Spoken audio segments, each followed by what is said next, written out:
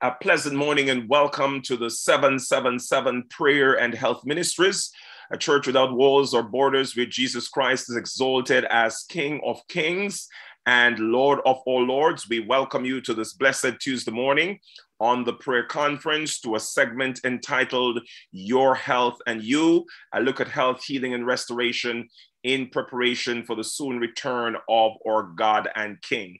I'm your host, uh, Pastor Desmond Hay, and I am super excited to be with you this morning and to be with all of God's children in this lecture as we share nuggets on health, healing, and restoration. We pray that God will bless you as you journey with us over the next few minutes. Father in heaven, we thank you for the grace to grow. We thank you for your presence and your watch care over the last 52 weeks. We've been together. Today is the 52nd uh, Tuesday of the month of the year 2021 and the last Tuesday in the month of December. We are grateful that you have kept us, and we pray now, Heavenly Father, that you'd give the wind a mighty voice that Jesus says is my prayer in Jesus' mighty name. Amen and amen. As you join us for this morning's lecture, we want you to understand that the information shared on this uh, platform in this lecture, it's not intended to treat or diagnose any condition. We encourage individuals who are watching and are listening, or those who will listen or watch in the future, to please understand that before you can use anything on this platform, anything shared in this lecture, you must consult your healthcare provider. It is for informational purposes only. It's not intended to treat or diagnose any conditions. And so we want to encourage you and put that caveat out there for your benefit and ours. Now, as we begin, we want you to understand that we teach from three perspectives. Yes, we believe in the Bible. It is still our rule of faith and practice. We believe it is the inspired word of God. the Bible says the grass withers, the flower fades, but the word of our God abides forevermore. And our theme text here in these lectures, it comes from First Corinthians 10 31. The Bible says, Whether therefore you eat or drink, or whatsoever you do, do all to the glory of God. We believe in good science, that is science that supports the Bible. We are well aware that there is science, falsely so called, out there. We're well aware that there are individuals who do not believe in good science, but we are strong supporters of robust, you know, empirical data that drives our presentations. And so we are strong believers in good science. And our determination is that good science must support the Bible. Yes, ladies and gentlemen, because the true scientist is God. We also believe in inspired writings. Uh, every morning on this platform in our lectures, we utilize our textbooks, Counsels on Health, Counsels on Diets and Food, Ministry of Healing. These are books that have given guidance to us and God's children for so many years. We believe that God has blessed his movement of destiny with guidance uh, from the pen of inspiration through the prophetess of the Lord, uh, Sister Ellen G. White. Her counsels have been a guidance to the remnant flock as we journey on this pathway. This morning, I want to share with you from the book Counsels on Health, and it is chapter 114. And it's entitled Maintain a High Standard. Maintain a high standard. Now, it says it is far easier to allow matters in or important institutions to go in a lax, loose way than to weed out that which is offensive, which will corrupt and destroy confidence and faith. But it would be far better to have a smaller number of workers to accomplish less, and as far as possible, to have these who are engaged in the work true hearted, firm as a rock in principle, loving the whole truth, obedient to all the commandments of God. That is why, ladies and gentlemen, we, we, we could do so many other things, but we're staying steady to this ministry of healing because God, while there is a book of numbers and he believes in numbers, he is not moved or driven by numbers. He wants the faithful Gideon army to accomplish the work he has for him to do. And so it is key that as we share this message of health, healing, and restoration, we are faithful to the principles of health and healing and not watering down those principles for the suit of others. And so God calls us to maintain a high standard, true hearted workers, firm as a rock in principle, loving the whole truth, and obedient to all the commandments of God. Counsels on Health, chapter 114, uh, page 264, paragraph 1. Now, this morning, we are talking briefly about cola nut. Yes, if you're from the Caribbean and Jamaica, uh, you're out there saying, Oh, Pastor, you're talking about bissy. Oh, that's what we know it as. And they call it cola nut.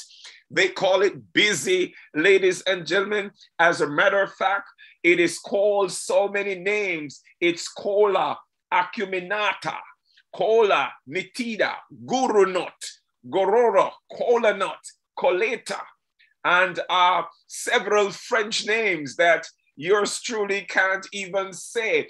But I want you to understand, ladies and gentlemen, I grew up with this cola nut in the Caribbean and what a blessing it has been. And I didn't even know some of the things I've come to learn as I research this cola nut and come to understand a little bit more about it. Now, it is the fruit of the cola tree, yes?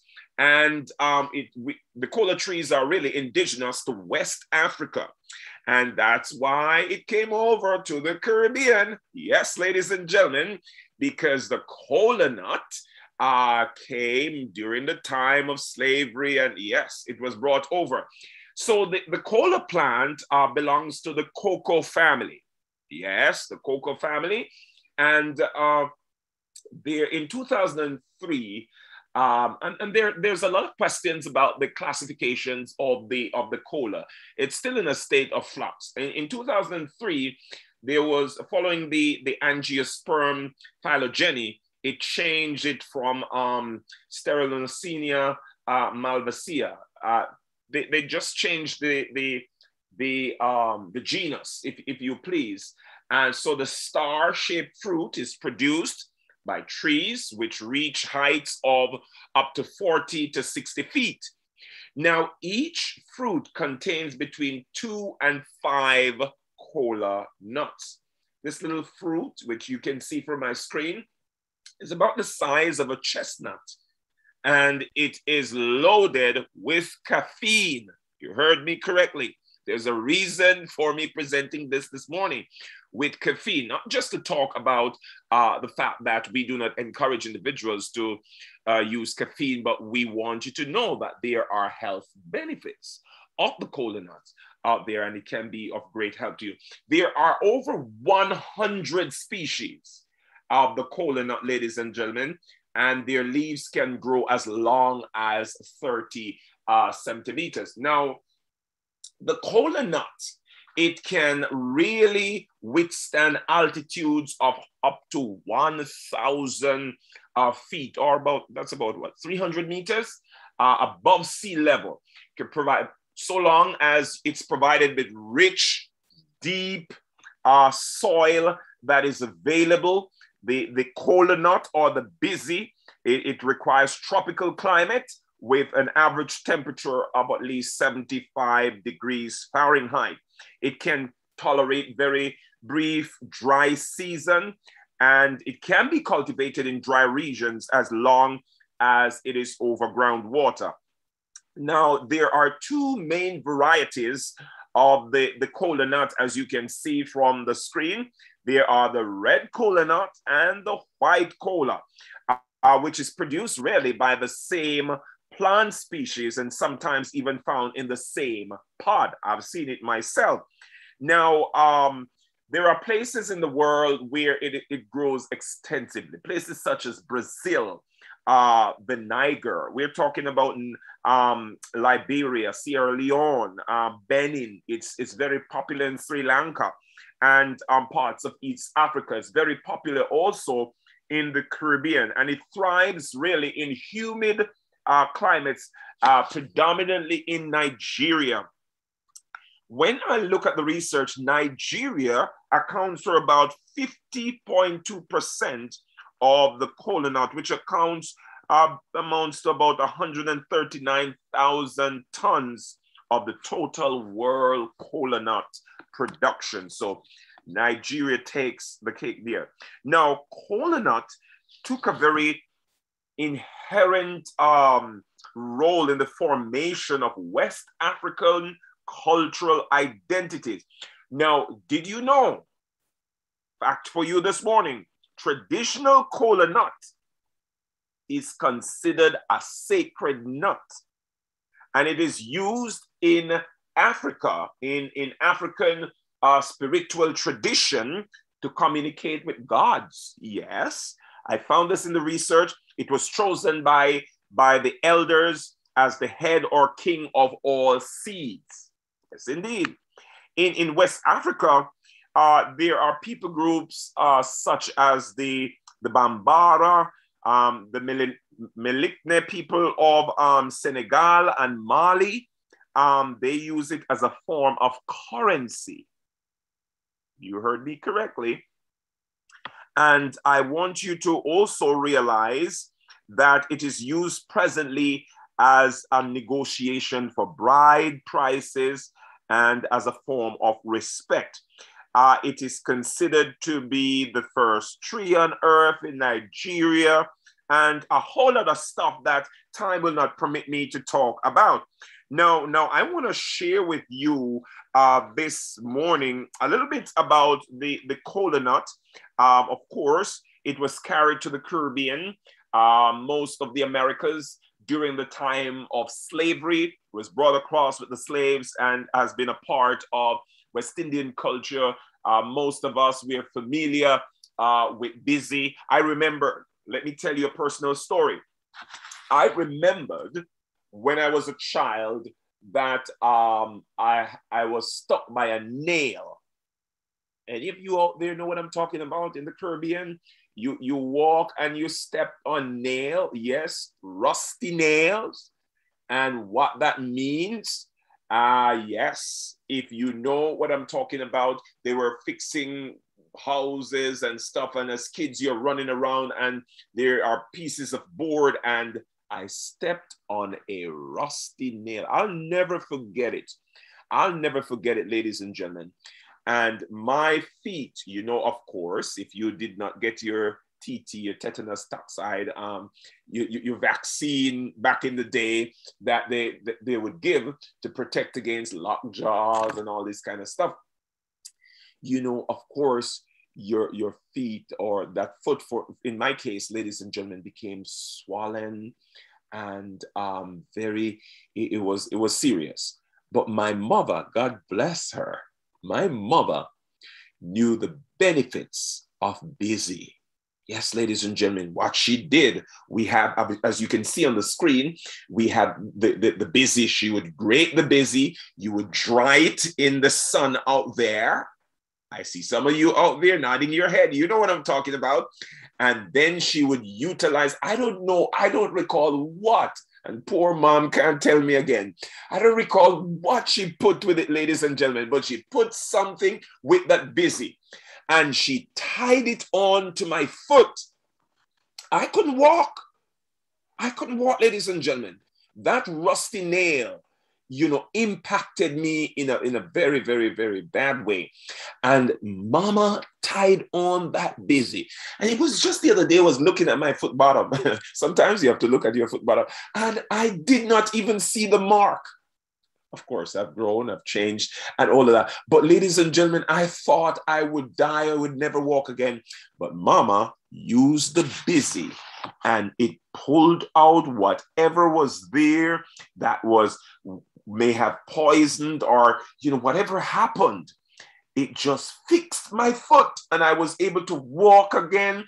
And not only that, she also tied on the stalk of the banana. You know what I'm talking? The banana plant. They cut the stalk, and yes, oh yes, we, we've went, we've gone through it, ladies and gentlemen, uh, growing up as kids.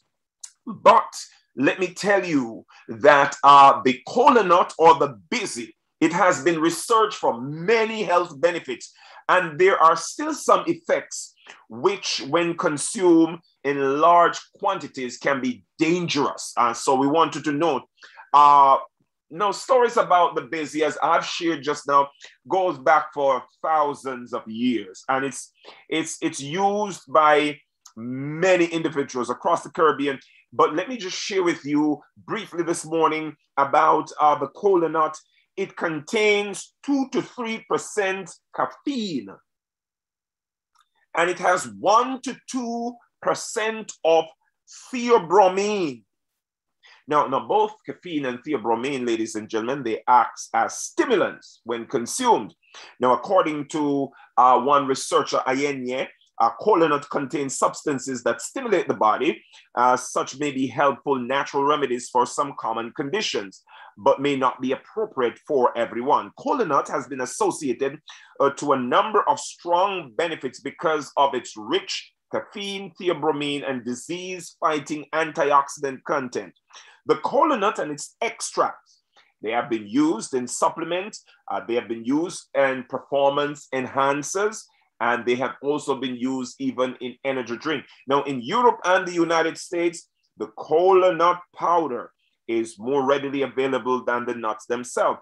And um, a serving of 0.069 milligrams of kola nut extract equates to a single serving of caffeine.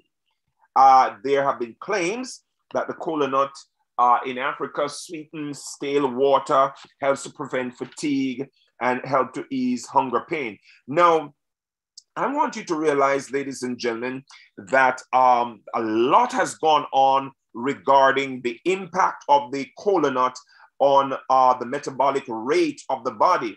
And um, there, there is a research that suggests that the caffeine content, of course, enhances energy levels uh, by altering the activity of certain neurotransmitters in the brain. Now, ladies and gentlemen, leading to, of course, increased energy level, focus, alertness. Uh, the, the, the research also shows that um, it could enhance endurance, of course, the caffeine, you know, stimulating the brain, stimulating the brain. Now, one of the big things that we do not encourage individuals to do on this prayer conference, we're not promoters. We believe that coffee and caffeine uh, is really deleterious to your health. It's dangerous for your health. We do not encourage individuals to consume uh, caffeine or coffee. However, uh, in terms of cuts and bruises and uh, poison that may have entered your skin, of making poultices for uh, the healing of certain condition, there is a purpose for the kola in that regard.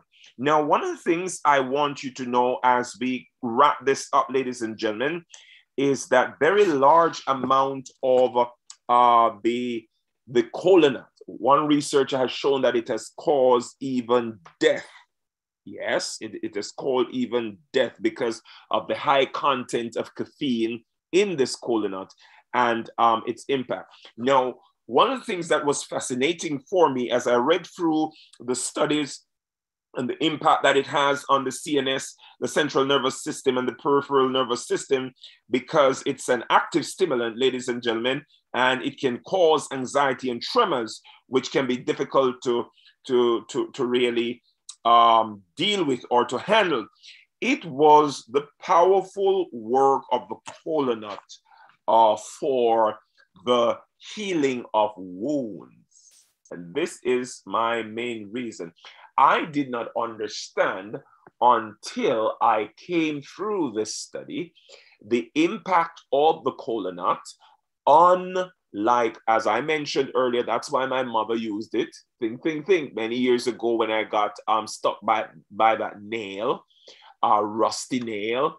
Uh, if you have gotten any form of poison that is in your system, I have proven that uh, the, the bissy is excellent to pull from your system poison. Now, I have used it under control situation for individuals who were poisoned and they have actually ingested uh, the, the, the kola nut and it has had a powerful effect on poisoning. And um, I tell you, it is amazing. So while we understand that this is not something that you are going to use uh, in your healthy, normal diet, we do not promote the use of caffeine, but we're saying that there are instances where kola nut might be of great benefit to the overall well-being of uh, individuals. And I, I have personally seen the impact that it has had on um, on poison. Now, there is even research, ladies and gentlemen, that found that the kola nut could possess potential antibacterial properties, which could help to prevent the growth of harmful disease causing pathogens. Not only that, uh, ladies and gentlemen, I, I wanted to bring to your attention that yes, research shows that it enhances energy level, may increase uh, weight loss, and could help to treat migraine. And even there's work going on on the impact of the kola nut on diabetes. Now, I want you to know that the kola nut is a very, very potent, very, very powerful nut. We call it the bissy in the Caribbean, and it has beneficial effects on your system. Ladies and gentlemen, cheers for the kola nut and its benefits to be utilized when necessary for optimal health and wellness. May I pray with you as we close the session this morning. Father in heaven, we are so thankful to you today for your mercies and your grace, for your kindness towards your children. We thank you for the things of nature. We thank you for the things that you have encouraged us to use and the things you have discouraged us from using. We pray that you'd help us to use judiciously that which is good and avoid that which is harmful for health. We pray now that uh, your children, their health will spring forth speedily, their lives will be transformed. And Lord, as we press towards the end, we will be able to understand the things of nature and how they can improve and impact our health. Bless us to this end, we pray. In Jesus' name, Amen and amen. We are so thankful that you have joined us for this morning's lecture. We encourage our friends on YouTube to like, share, subscribe, hit the notification bell so that whenever we go uh, public and live, as we would say, you will hear about it and you can be uh, benefited by what we're sharing and you can be a blessing to us. We uh, meet together seven in the morning, seven in the evening, seven days per week on the 777 Prayer and Health Ministries. And so we want to say to you a blessed day and thank God for the nut. Now, we look forward on you joining us this evening at 7 p.m. Eastern Standard Time